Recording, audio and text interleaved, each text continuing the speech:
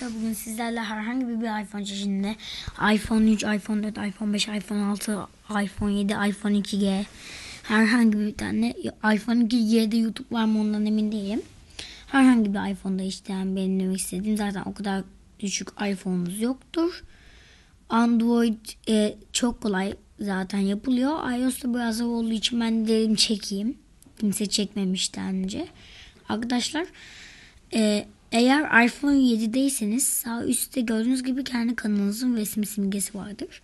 Eğer iPhone 7'den düşükseniz şu kitaplık yerine gelip şurada 3 nokta göreceksiniz. Ona basacaksınız. Sonra zaten aynı şeyler çıkıyor. Neyse ben iPhone 7 üzerinden göstereceğim. Buna basıyorsunuz. Ayarlar diyorsunuz.